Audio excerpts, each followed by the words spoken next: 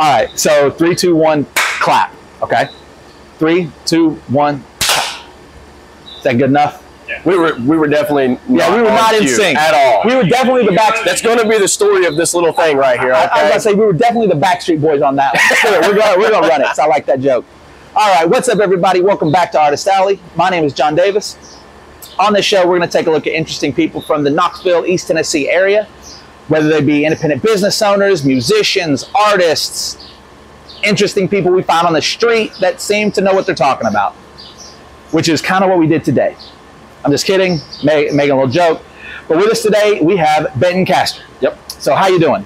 Man, I'm doing well. Just glad to be here. See what you guys got going on. I appreciate it. It's not much. At least you're honest. I try to be, but I'm a liar, so you never can tell. All right. So first things first. Why do you do what you do? Which is Uh, I'm, a, I'm a barber here in Knoxville. Okay. Um, man, I started cutting hair when I was 12. I grew up uh, Western Heights. It's a housing project here in Knoxville. Real poor. You know, my mom trying to raise three three kids. She couldn't afford to get us haircuts, so I bought a set of clippers and went to work. I got you, man. Like that, that. I mean, that makes a lot of sense. Like you, I, I, I'm the same way. Like I grew up, like me and just it was just me and my mom. Yeah. We we had like this old broken down trailer on a, like a piece of property my grandma owned, and it was like we just kind of made do with what we had. You know, like it. I had long hair. I, I still have long hair for a long time, just because I was like, you know what, haircuts cost money. Yeah. I don't need that. I don't need that. Yeah. But just we'll just let it grow. but I mean, that is that is fantastic that you took something like that you turned, I guess, a negative into a positive. Like you know, having to do that as a child, like obviously it's not ideal, but you turn that into something into a career. Yeah. Like and it is it, it's really really cool man because you know at first you got to fuck them up to get them right let's Oh, just yeah. let's just be real honest you know what i mean it's like and if you're gonna mess up you might as well mess up on yourself you know yeah, I was gonna say, or your, your siblings, like mess them up, and then be like, oh man, I messed that fade up, so I gotta click this back one more. Ah, okay, there it is. Like and that's, that's, what, and it. that's what it looks like you know what i mean it's a process bud I got you. Okay, so now we're gonna get into less serious questions. okay We're gonna see how you do with these. okay I, i may not be qualified all right I'm barely qualified to ask them, man. So you're doing all right. good company I do need to come up with a name for them. Like, you know how like Sway has like the five fingers of death and stuff. Like, I need to come up with a name. Like, I feel like that'd be cool. have you seen the hot sauce the little hot sauce show they the hot sauce Uh, hot, hot ones. yeah, yeah, hot ones yeah. I need I need to come up with something. yeah something good Yeah, because it's like I don't know. I don't have anything going to into these. I'll find something. All right. So first one's first. What is the most memorable meal you had? Now it doesn't have to be the food. It could be like the situation outside of it. Like I've had plenty of Christmas dinners that were just your standard turkey and stuffing and all that good stuff or whatever, and then like all hell breaks loose and there's fights, and then that's the part I remember. The food's okay, but like when you see two uncles like swinging at each other and they knock down the Christmas tree, it's a memorable meal. See, But it could be the food for you too. I mean, whatever. What, what's most memorable for you? my story is definitely not as good as that. I remember I used to I used to cut trees and do like landscaping for a living. And one of our guys, you know, he's, he's a little Mexican dude, and he would always bring just random stuff, right?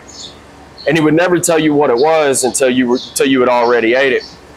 And he brought this stuff one day, man, and we're sitting there chowing down, and I'm loving it, loving it, man, thinking this was the best thing in the world. And so finally, we called him Salty. His name was Solomon. I said, I said, Salt. I said, what is this? He's like, oh, bro, that's goat brains and you, you know it's and so for me the meal was the you know the memorable part Yeah. because who eats goat brains right and Yeah. apparently like it's some some level of delicacy to them Yeah. and it's like I'll never try that again but it was oddly satisfying at the same time you know it's like a one and done scenario so for me like I'll, I'll never be able to forget that you know Yeah. because it was good but so disgusting at the exact same time So like, if it, let let's say you you ate it again, like not knowing, not knowing, and like you hit that and it like you taste it and you're like, oh man, this is really good. and that's what it would look like right? Flashback instantly takes place Okay, and you would be like, nah, I'm done. I can't. because it's and, Even though even though you really enjoyed it. Yeah, and, and that was the thing because it was like a different texture and taste at the same time, right? So like you won't forget it, but it was really good. And so somebody, even if somebody tried to sneak it in, like I would know what it was. Yeah. And I would probably lose control just because of the thought process of eating a brain. Like, who- who's like, hey man, I'm going to eat some goat brains. You know, this sounds like a great idea. No, not happening. not happening. That is a that like you you were kind of worried about giving answers, man, but that one's fantastic. Well, Like, I that's mean, a you, really asked a good good question. You I'm- know, I'm trying. I'm trying. All right. So, what is the most trivial thing that you have a strong opinion about? Like, what is something that nobody would care about, but you're like, oh my God, this? Like, for me, to give an example, like driving down the road, like on the interstate, Mhm. I have cars in front of me in the fast lane and they're getting passed. I'm like, I'm about to be Dale Earnhardt, put this dude in the wall, man. Like, it drives me crazy. It's like if you're getting past, man, come on, like just just get over. Like it, it, it it's trivial, like it doesn't matter, but to me, it, it drives me crazy. I guess I guess for me, like going into someone else's house, right? Like I don't care how you live, right? I can come into your house and be comfortable as long as like the environment's cool and we're you know conversation's good or whatever the case may be. But like if you come into my house and you pick something up and you do not put it back where you got it from, bro, I, I can't even I can't even live with myself at that moment, right? like everything inside of me is just irking, and it's like it's like walking on pins and needles. I, I it doesn't matter. No, you know what I mean. But I compartmentalize everything in my brain, and so for me, it's like the end of the world. If you pick my TV up, TV uh, TV remote up, and you do not put it back exactly where you got it from, I'm literally losing everything inside of me at that moment. Oh my god, Stupid, right? Means No. nothing. Makes no Yeah. sense. But for me, it's the end of the world. Dude! Like I, I, I get it. I, I'm not nearly that bad because I mean it's a touch. It's, it's, it's rough, right? It's borderline. Yeah. Might need a little bit of medication. I'm gonna say it's it's very OCD ish. Yeah, slightly, slightly. But yeah, I, I- I completely understand. I get it. Okay, so what is something you hope to accomplish before this year is over, for the year of 2022? So I'm working on something right now, and a, and a goal for me, um, you know, growing up poor and not having the ability to really, you know, ha- have things right. Mhm. I'm working on a project to where I can get 20 local barbershops here in Knoxville to shut down their business for one day to provide completely free haircuts for anybody that walks through the door, man. Doesn't matter if you roll up in a hundred thousand dollar Porsche or you haven't showered in 10 days. You know, for me, this is an opportunity. Like I love to serve people, right? Yeah. And so that's why this this fits so well. And so for me, I see an opportunity to serve those in need. You know, without asking questions, just because somebody rolls up in a nice car or they have nice clothes on doesn't mean they're carry, they're not carrying a lot of baggage, right? And that baggage, even though it may be wrapped in a different suit, really is no different than someone who's sleeping out here on the streets, you know, because Yeah. I've, I've been on both ends. You know, I was a homeless drug addict. I slept on these streets. I slept, you know, on the park benches right underneath the Sunsphere. And so I know, I know what it's like. Um, so just an opportunity to give back is something that's real big on my heart. So that's what, that's what my goal is for this year. Dude, that's fantastic. I hope it. I hope it succeeds, man. Like we'll we'll do what we can. I mean, we're not very big, but like we we'll do what we can. We'll spread out messages and stuff like because that's that's a fantastic. That's fantastic, man. I mean, because there, I mean, there are people out here that like. I'm not. I was never a homeless drug addict or anything Yeah. like that. I was homeless for a couple of weeks, like nothing major, but um, there are people that don't that have never lived that way that have been very you know quote unquote privileged that wouldn't necessarily see that as a good thing they're like well why am i not making money it's like no it's not about money man It's it's about it. it's about helping like is. you help everybody Yep. that's that the two tenets i try to live my life by know more than you knew yesterday help everybody or help everybody you can don't hurt anybody you know like help everybody you can and just know more than you knew yesterday Yeah. and I mean, uh, so far it's guided me pretty well. You know, and, and it's simple, right? Like it, it doesn't. You don't. You don't have to be a rocket scientist to be a good person, right? Yeah. You know, we live in a world full of animosity and trash and baggage, and people want to tear each other down. I mean, what's what's what's wrong with saying something good to somebody? You know what I mean? Even if I don't like you, I can find something good about you. You Yeah. know, everybody has a good quality. It takes more effort to to seek that out into someone than it does to just point out all the negativity. yeah. So- A lot. I'm about to say a lot of people don't want to take that effort. I mean, even as No. little as it can be, it's- to just ask minimal. a question. yeah. You know, people don't want to take that effort to to get to know somebody and ask them like, hey, like, how are you? Yeah. Like, what's going on with you? You know, what can I do to help? Yep. You know, and I mean, it, it's it's it's very sad nowadays. It is, man, and it's like I said, it's it's prevalent. It's everywhere, Yeah. and you see it. So Just try to be a little bit different. Yeah, don't don't watch the news. but you're That's, not wrong. that's what I try to do. I try to not watch the news. I mean, if you watch the news, everything's terrible. yeah. But I mean, if you watch the people, yeah, man. you know, it's not nearly as bad as they say. People are beautiful, man. Yeah. A That's a fantastic end to that question. I appreciate People it. are beautiful. I love it. All right. So, what is one admired profession? Like, what's something you look at and you're like, that is, I, I love that, but you could never do?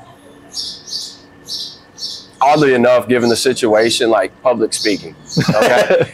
Let me go ahead. Before you answer, you're doing great. well, you know, it's, like I said, I think it's really cool what you guys are doing, and so to have the opportunity to come out here and just be a part of um, something like this, I, I think it's really, really neat, and it pushes me out of my comfort zone. I, I strive to, you know, like you said, be better today than you were yesterday, right? Yeah. So this is my opportunity to be better today than I was yesterday.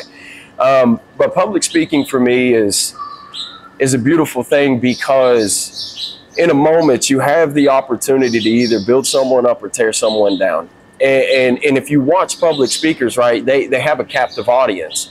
And a lot of times it doesn't have anything to do with the words that are coming out of their mouth as much as the energy that they carry in that moment, Yeah. right? You could be saying totally meaningless stuff, but if your energy's right, people are going to be hanging on the edge of their seat. Whereas if you get up there and you're mundane and you're dull, like nobody's nobody's interested Even if you're dropping knowledge. even if you're dropping knowledge. And so your delivery is key. And so when you take people who are in that capacity, but they're dropping knowledge with that right energy, man, it's it's it's so seamless and it's Yeah. so cool to watch. You know what I mean? Because you have the opportunity to change someone's life. And for those who do it and do it well, man, I admire that.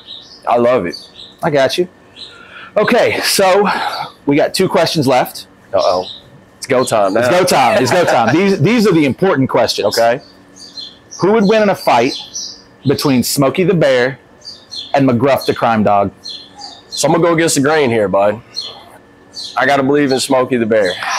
Man, you're hurting me. You were having a good interview till then. Well, you know, you, you, you got to set a standard somewhere, right? The rest of the questions, we, can- we can get through that. But Smokey the Bear, bro, he lives in the woods, right?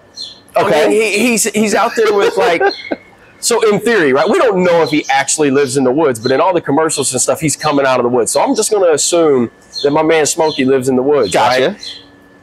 Bro, have you ever lived in the woods? I lived in the backwoods of like, not like the woods. Yeah. I lived in like, you know when you hear the banjos? the woods where you cook meth, right? You Right, know? right. I didn't cook it, but I, I, I was in the area. Um, I'm kidding. Uh, No, you're not. Vicinity is key, bro. but I didn't grow up in the woods, but I grew up in like the the backwoods. Like Right. when- you hear the banjos, Yeah. stop about ten minutes before that. That's where I grew up. Bro, that's detrimental to your health. I'm very well aware. Right? You know what I'm saying? and then you, you know, for me, like you look at an inner city cop, right? So we we, Yeah. we, we look at the crime dog here. Bro, I, it's not that bad. It- it's it's it's really not okay. So you you got you you might get shot at, right? Cool. Let's go down here to the projects. You might get shot at too. You, you know what I'm saying? But other than that, dude, they're eating Chinese food and donuts. I mean, how bad? How bad can it really, really be? You know, you you, you, you listen, but you got Smokey out there living off the fungus among us. You know what I'm saying? And so, for me, that man is way more qualified when it comes down to it. All right, I can't I can't argue with that answer. It was so good, man. Like you're speaking with that energy and you're dropping knowledge. Like you hit me. Well, you, You hit know, me, man. Like, talk I like what you know. Yeah. All right, so we're on a final question. Okay. And before we get there, I'm gonna go ahead and let you. I'm gonna throw it to you. Let you throw it out to the people and to the, this Okay. camera right here. Let them know where they can find you, where your business is, and you know that way we try to drum you up some business. Okay, I appreciate that. Yeah. Our shop is Covenant House of Grooming. We're located at 5317 Stanton Road, which is right behind Litton's Restaurant out there in Fountain City. Um, Facebook, Covenant House of Grooming. Uh, Instagram is Covenant Hog. And that's really about all I care about. So we don't we don't we don't get any other social medias. We do have a website. It's covenantgrooming.com, and uh, so we look forward to seeing you. Yeah. And as always, we will uh, link all this stuff down in the description. So go ahead, check it out there. Go check them out. They're doing good things, and hopefully by the end of the year, we can get you up and uh, Would you say it was 20? You want to get like 20? 20, the, the goal is to cut 2,000 heads in a day. And so Okay. for, for that to really be accomplished, it's it's looking like we'll need roughly 20 shops a day based on how many heads you can turn per shop. All right. Yeah. Let's so let's hope we get there, man. Yeah, Because we're that seems, that's a it. fantastic goal. Appreciate it. So, final question. Mhm. What is the best piece of advice you have ever gotten about anything? I really this is this is twofold for me. Okay, so the first one I, I remember hearing growing up, my grandfather would say, "No matter what your job was, if you did it to the best of your abilities, you'll never go without." Okay, whether it was sweeping the floors, cleaning toilets, it doesn't matter, right? If you put in every ounce that you have, someone will see that, and opportunities will, will manifest due to due to your work. Yeah. The second one is uh, when preparation and opportunity meet, success is bound to happen. And so for me, looking looking into the future and what I want to see, that's why doing these things right here, right? I, I'm believing that I'm going to get to cut those 2,000 heads in a day. And so for me, this is just an avenue of preparation for that opportunity when it manifests itself. And Yeah. so I'm just I'm just believing that success will happen. And so that's those those are two that are really near and dear to my heart. All right, man. That's fantastic. And that's it. Appreciate you it. survived, man. We're here. I'm not even sweating, bro. Dude, you're, I was going to say, you got that dry fit shirt on, man. You're looking good. But all right. I So, appreciate it, bro. no problem, man. We're going to get you to pick a color. I gotta have that green. Gotta have that green. That's